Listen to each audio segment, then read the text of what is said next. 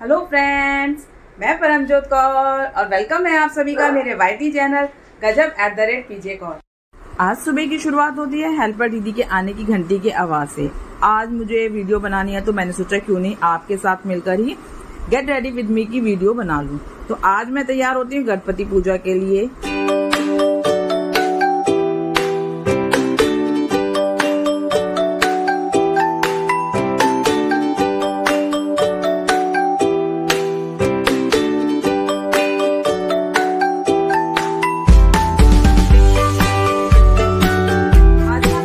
Bright होने वाला है। मैंने अपने फेस को अच्छे से साफ़ किया। साफ़ करके मैंने उस पर थोड़ा मॉइस्चराइजर लगाया। उसके बाद मैंने प्राइमर लगाया। अच्छे से प्राइमर लगाया। अपनी आई अब मैं अपनी आईब्रो सेट करूँगी। आईब्रो के लिए मैं पेंसिल का यूज़ नहीं आईब्रो पेंसिल का यूज़ नहीं करती, बल्कि मैं ब्रश की हेल्प से अपनी आईब्रो सेट करती हूँ। अब मैं उस पर अब मैं कंसीलर लगाया मैंने। मैं ऑरेंज कलर कलर का कंसीलर यूज़ करती हूँ डार्क सर्कल वगैरह को छिपाने के लिए। अब मैं कलर करेक्टर लगाने जा रही हूँ। मैंने कलर करेक्टर लगाया। उसके बाद मैंने थोड़ा सा करेक्टर ये थोड़ा ज़्यादा ही लगा लिया, क्योंकि मेरे को डार्क मतलब एकदम ब्राइट अपना मेकअप चाहिए था। मैंने इसको हल्का सा पहले अपने हाथ की हेल्प से मिक्स करा। फिर इसके बाद मैंने को, मैंने स्पंज की हेल्प से उसको ब्लेंड किया, अच्छे से ब्लेंड किया। क्योंकि हाथ से इतना अच्छा हो जाता है, पर इतने नीटनेस और सफ़ाई नहीं आती है। तो स्पंज हम अगर डैप डैप करते हुए इसको करते हैं तो बहुत अच्छा रिज़ल्ट आता है।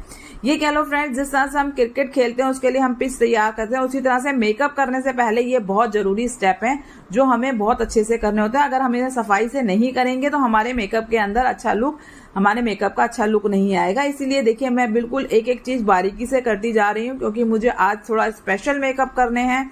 तो गणपति जी हमारे यहाँ आने वाले हैं।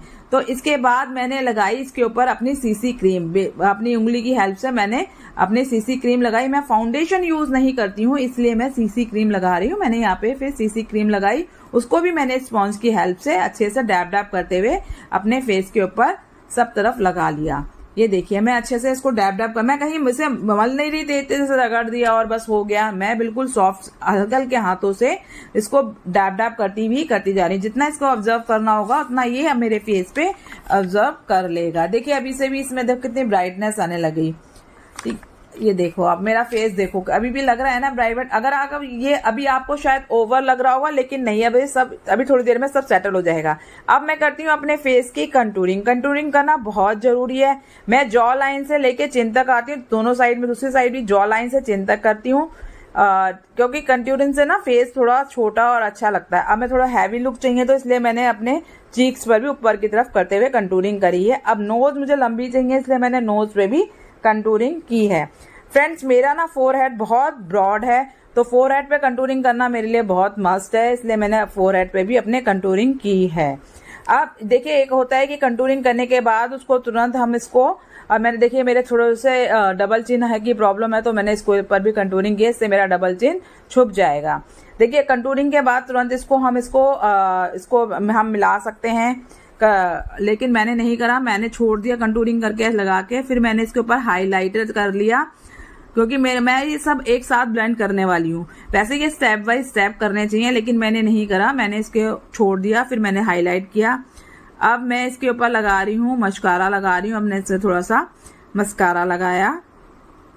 वो भी इसलिए कि वीडियो मतलब मेरी बहुत ज़्यादा लंबी हो जाएगी, इसलिए मैं सब सब करके छोड़ दिया है। मेरे को अभी अलग ये तीन स्टेप होते हैं अलग अलग ब्लेंड करना चाहिए, लेकिन मैंने, मैं अब सारा एक साथ ही करूँगी। अब मैंने अपनी आँखों पे लाइनर लगाया है, ये मैंने ब्लैक कलर का लाइनर यूज़ किया है, क्योंकि मेरी जो साड़ी मैं आज वेयर करने वाली हूँ, वो ऑलरेडी हैवी है, इसलिए मैंने अपनी आईज बिल्कुल सिंपल रखी है। मैंने आईज में ज़्यादा कुछ नहीं करा, अब मैं काजल लगा रही हूँ, मैंने ब्लैक लैकमी का काजल यूज़ किया है यहाँ पे। अब मैं अपनी आईज बिल्कुल सिंपल रखने वाली हूँ फ्रेंड्स अब मैं अपना, अब मैं एक ब्रश की हेल्प से, अब मैं इसको सबको ब्लेंड कर रही हूँ। ये देखो, ये अपने ऊपर डिपेंड करता है कि आप किस तरह करो। इसे आप तीन स्टेप में भी कर सकते हो, आप इसे एक स्टेप में भी कर सकते हो। तो मैंने अपने टाइम को टाइम सेविंग करते हुए मैंने इसको एक साथ सबको ब्लेंड कर लिया है। ये देखिए, अच्छे से मैं ब्लेंड करती जा रही हूँ। ये देखिए मेरा लुक अब अब मैं लगाती हूँ लिपस्टिक अब लिपस्टिक मैं पिंक कलर की यूज़ कर रही हूँ क्योंकि मेरे को ज़्यादातर यही कलर पसंद आता है। मेरे पास लिपस्टिक बहुत सारी है। मैं लिपस्टिक की वीडियो भी लेके आने वाली हूँ। ये ग्लॉस फिनिश की मैंने पिंक कलर की लिपस्टिक यूज़ करी है। ये देखिए मेरा लुक अब आती है अब आप बताइए कैसा अब मैंने थोड़ा फ्रेंड्स मैंने ना पहले ही अपने चीक्स पे ये पिंक लिपस्टिक लगा ली थी उसे मैं रिकॉर्ड करना भूल गई थी इसलिए मैं अब दोबारा आपके सामने करके दिखा रही हूँ। ये है साड़ी जो मैं वेयर करने वाली हूँ आप बताइए कैसी लगी है ये साड़ी आपको? और ये रहा मेरा फाइनल लुक आप बताइए कैसी लग रही हूँ मैं? आ, मैंने ये जो साड़ी है धोती स्टाइल में बांधी है फ़र्स्ट टाइम मैंने धोती स्टाइल में साड़ी बांधी है। क्योंकि गणपति जी हमारे घर में आने वाले हैं तो मैंने उनका वेलकम उन्हीं के स्टाइल में किया है। गणपति बाबा के स्टाइल में करिए बताइए मेरी साड़ी कैसी लग रही है फ्रेंड्स मुझे कमेंट में बताइएगा। बन गई ना, देखिए मैं। मराठी गर्ल ये देखिए। हाँ? गणपति बाबा, मोरिया। गणपति पापा Morya.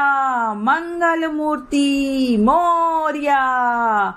So so friends आपको मेरी ये वीडियो कैसी लगी है? मुझे कमेंट में बताइएगा। अगर आपको मेरी वीडियो पसंद आती है तो मेरे चैनल को सब्सक्राइब कीजिएगा और मेरी वीडियो को लाइक कीजिएगा। और इसी तरह की नेक्स्ट और वीडियो देखने के लिए मिलते हैं आपसे अब अपने नेक्स्ट ब्लॉग में। Okay bye tata